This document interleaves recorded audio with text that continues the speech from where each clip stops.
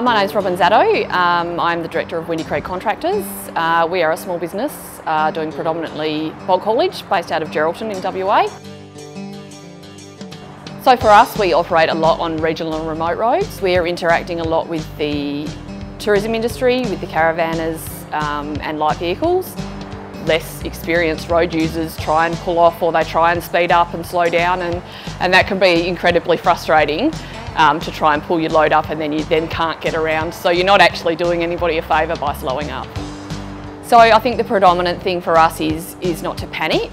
Um, you know, five minutes of consideration goes a long way. Those, those trucks are maintaining a constant speed out there on the highway. So if you're coming along in a caravan and you see a truck looming up behind you, um, just maintain a constant speed. You don't, you don't need to panic. You don't need to try and speed up or slow down. If, if your speeds don't match, they'll come around you. They're professional drivers, they know what they're doing. So the best thing you can do is just continue on your way. Of course, be courteous, but, but you don't need to panic.